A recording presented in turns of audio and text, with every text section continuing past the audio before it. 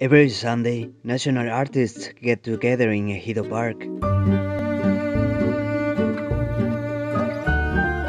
They place their works early in the morning around the park. Paintings, silversmiths, and handicrafts are on exhibition or for sale.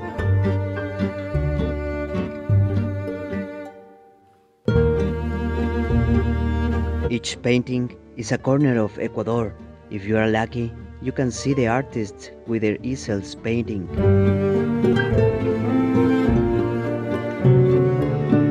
An upper air gallery, a must see walk.